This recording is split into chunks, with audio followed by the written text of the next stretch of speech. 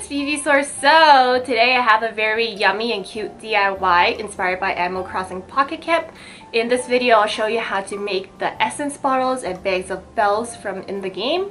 Also I will teach you how to make an Animal Crossing advent calendar.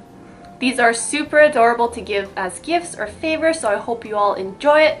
Also, if you want to be friends in Animal Crossing, I'll leave my friend code in the description box down below and we can help each other out. Anyways, let's get on with the video. To make these adorable essence bottles, you will need 5 sphere-shaped bottles and some printable sticker paper. Go ahead and print out the labels for each essence and cut them out to use later on. Next, fill up each bottle with drinks that are similar in color to the essence inside the game. Once that's done, you can go ahead and wipe down the bottles and start sticking on the labels. Make sure to match the color of the bottles with the right labels, blue being the cool essence, yellow is the natural essence, pink is the cute essence, and green is supposed to be the rustic essence instead of the sporty essence as shown here. But as a disclaimer, I filmed this video prior to the game releasing the rustic essence, so I had to switch it up for the colors between the sporty and rustic. Um, I have included all five bottles, so you'll see what I mean in the montage.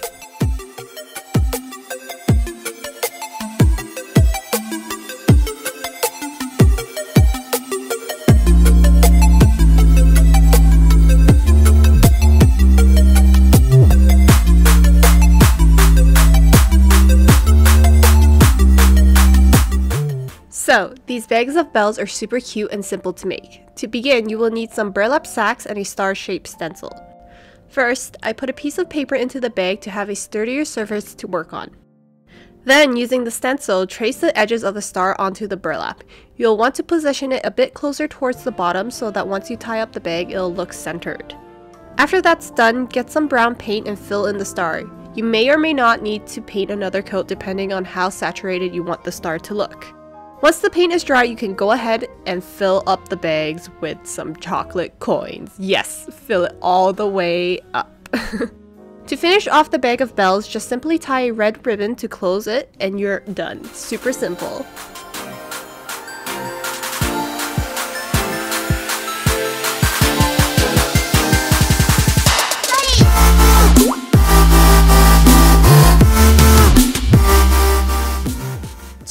Animal Crossing advent calendar, you will need a storage container that has dividers in it.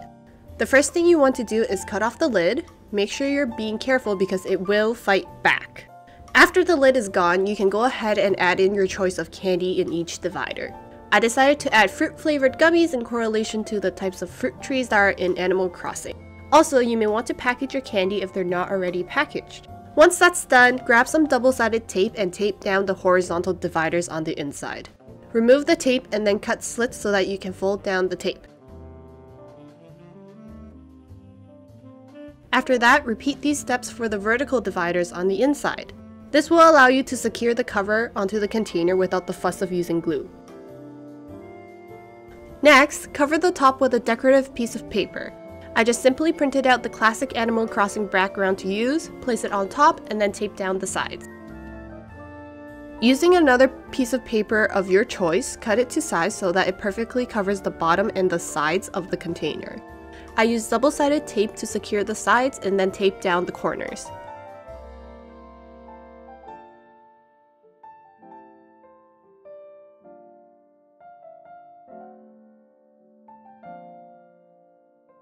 Now you can leave it as is or decorate it more by printing out some characters or decorations onto printable sticker paper.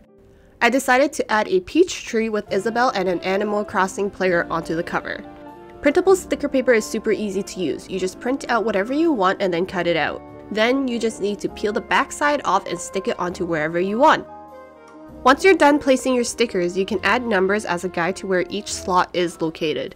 I just used my hands to feel out where the dividers are and wrote the numbers onto the top right corners. This last part is optional, but I'm just adding ribbon onto the top side just to top off this cuteness and then you're done.